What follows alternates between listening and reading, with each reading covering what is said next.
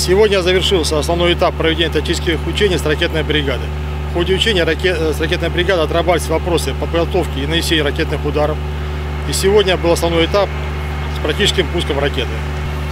В ходе учения расчеты показали управление бригады слаженность в работе, получили заслуженные хорошие отличные оценки по подготовке и нанесению ракетных ударов. Пуск был проведен своевременно, ракета прошла в штатном режиме и поразила цель на дачном районе. Иней 41, я разъем 52. Понял, выполняю. Включить грот. Включить СТПН.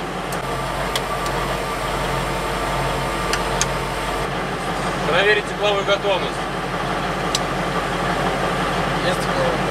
Подать питание на КПА. Расчет пуск газы.